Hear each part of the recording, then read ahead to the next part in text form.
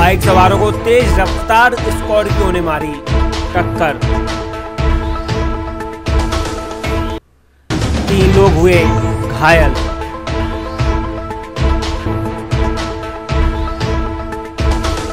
प्रस्तुत है हमीरपुर सरीला से पंकज कुमार शर्मा की एक रिपोर्ट। जी हाँ, सरीला क्षेत्र के ममना रोड, बरगावा गाँव के पास सरीला की शिव बारात देखकर बाइक से संजू ब्रजेश व अंकित अपने घर जलालपुर गाँव जा रहे थे। तभी सामने से आ रही तेज रफ्तार स्कॉर्पियो की आमने सामने चक्कर हो गई, जिसमें बाइक सवार संजू, ब्रजेश व अंकित निवासी जलालपुर के तीनों लोग गंभीर रूप से घायल हो गए।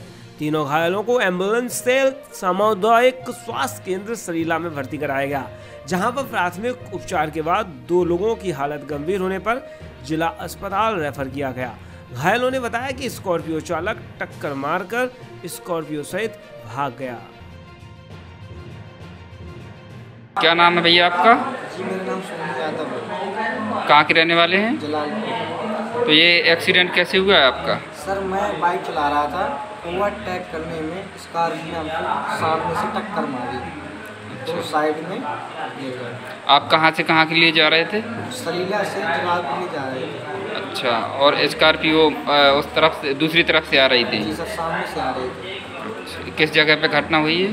सर थोड़ी अच्छा अच्छा। स्कॉर्पियो चालक रुका या फरार हो गया? जी सर जो गाड़ी देके चला गया। अच्छा अच्छा अच्छा।